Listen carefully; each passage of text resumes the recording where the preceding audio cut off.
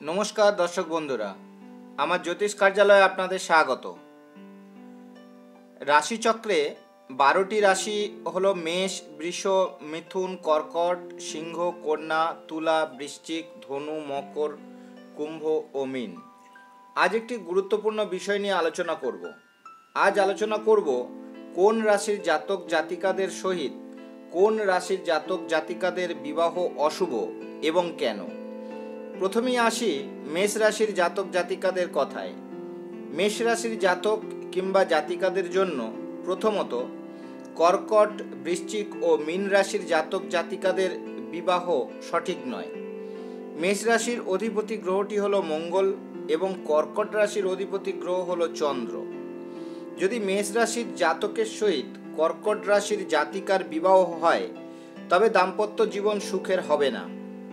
এক্ষেত্রে জাতিকার মানসিক রোগ হতে পারে কিংবা ডিপ্রেশন তৈরি হবে নানান কারণে, কিংবা স্ত্রীর কারণে জাতকের মানসিক অশান্তি তৈরি হবে, শয্যাসুখ থেকে বঞ্চিত হতে পারে। এছাড়া জাতিকার শারীরিক অসুবিধা তৈরি হতে পারে, প্রচুর অর্থ খরচ হতে পারে, তার ফলে জাতকের সহিত জাতিকার মধ্যে ঝগড়াঝাটি শুরু হতে পারে। এবার আসি ঠিক তার উল্টো দিকটায়। জাতক যদি কর্কট রাশির এবং জাতিকা যদি মেষ রাশির হয়ে থাকে, তবে জাতক অবসাদগ্রস্ত এবং সন্দেহপ্রবণ হয়ে স্ত্রীর উপর নির্যাতন করতে পারে। স্ত্রীর প্রতিষ্ঠা জাতকের মনে বিরূপ প্রতিক্রিয়া সৃষ্টি করবে এবং ছোটোখাটো ব্যাপারে ঝগড়ার মাপকাঠি তুঙ্গে উঠবে। দাম্পত্য জটিলতা দেখা দিতে পারে। এবার আসি মেষ রাশির জাতক ও বৃশ্চিক রাশির জাতিকার কথায়। এই কম্বিনেশনে দেখা যাচ্ছে দুটি রাশির অধিপতি গ্রহ হল মঙ্গল। রাশিচক্রে কেউ যদি মাঙ্গলিক দোষ পেয়ে থাকে, তবে জাতক কিংবা জাতিকার মৃত্যুযোগও নির্দেশ করে থাকে। সেক্ষেত্রে জাতিকার মৃত্যু বিশেষভাবে নির্দেশ করে থাকে। তবে সেক্ষেত্রে দুজনের গণের মিল বিচার করে তা নির্দিষ্ট করা সম্ভব। এছাড়া জাতকের গুপ্তরোগ কিংবা দুরারোগ্য ব্যাধির সূচনা হতে পারে।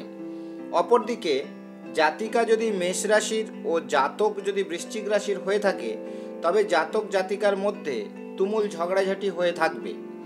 এক্ষেত্রে মেষ রাশির জাতিকার চরিত্রহানি ঘটতে পারে এবং সেই কারণে দাম্পত্য বিচ্ছেদও হতে পারে। এবার আসি মেষ রাশির জাতক ও মীন রাশির জাতিকার কথায়। এই কম্বিনেশনে যদি বিবাহ সূত্রে আবদ্ধ হয়ে থাকে, তবে তাদের দাম্পত্য জীবন একেবারে ভালো যাবে না। সংসার ছিন্ন ভিন্ন হয়ে যেতে পারে।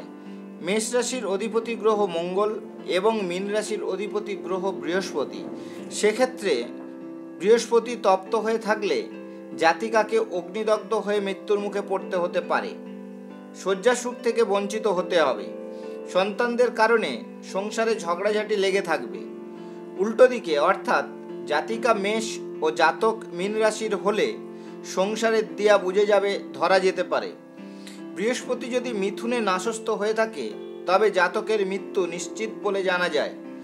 বিবাহের সময় রাশি, লগ্ন ও গণ এবং রাশিচক্র সঠিকভাবে বিচার করে তবেই বিবাহ ঠিক করা উচিত। ভিডিওটি আপনাদের কোনো উপকারে লেগে থাকলে আমার চ্যানেলটিকে সাবস্ক্রাইব করবেন এবং পাশে থাকা বেল আইকনটি ক্লিক করবেন। লাইক, শেয়ার করতেও ভুলবেন না। ধন্যবাদ।